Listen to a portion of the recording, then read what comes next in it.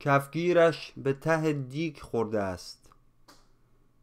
این عبارت را برای شخصی به کار می‌برند که دیر رسیده باشد و یا مانند قبل توانایی و ثروت نداشته باشد و دیگران نیز نمی‌توانند به او کمک کنند. در این زمان می‌گویند کفگیرش به ته دیگ خورده.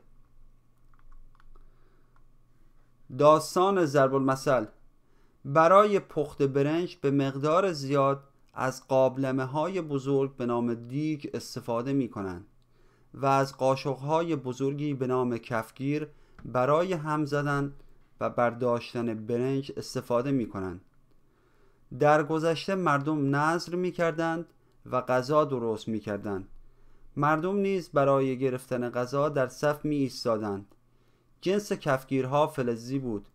و هنگامی که به ته دیگ می‌خورد صدا می‌داد. هنگامی که غذا تمام می‌شد آشپزها کفگیر را به انتهای دیگ می‌زدند تا با صدای آن مردم متوجه شوند که غذا تمام شده است.